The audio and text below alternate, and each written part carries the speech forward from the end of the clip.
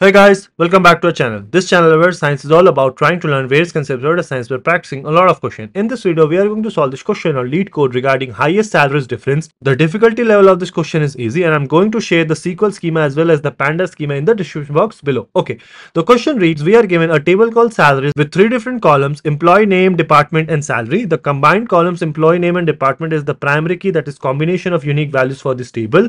Each row of this table contains employee name, department and salary there will be at least one entry for the engineering and marketing departments okay we are asked to write a solution to calculate the difference between the highest salaries in the marketing and engineering department output the absolute difference in salaries return the result table. Okay let's go through the example. So here we have multiple people their department and the salary. So in the engineering department what is the maximum salary? 102000 and then in the marketing department what is the maximum salary? 53000 so if you subtract them you are going to get the absolute difference to be 49000 and that is what you have. So what we can do is we can get the maximum salary when the department is engineering. We can also get the maximum salary when the department is marketing and subtract the two. And once we have the value we can get the absolute of it as well. So what we can do is from this table called salaries let's keep only those rows where department is equal to engineering.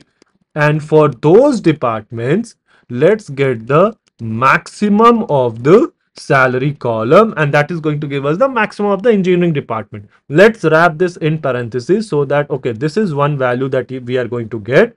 Then similarly, we are also going to get, okay, if I go ahead and copy this, because we do need to do the same thing, right? So instead of writing the same thing again, we just need to change department to marketing. So we also got the maximum salary of the marketing. Now, once we have those, we subtract them and we also need to get the absolute value of it. So return me the absolute value of the entire thing that we just calculated right? And once we had this we also need to alias this as salary difference. So as salary difference Okay, let me go ahead and run this. Let's see what do we get in our output. So yeah, this is accepted. Our output is same as expected output. Let me go ahead and submit this to pass all the test cases. So yeah, this is accepted and this is how do it. So not a difficult question. What we basically had to do was from the department called engineering, we found out the maximum salary.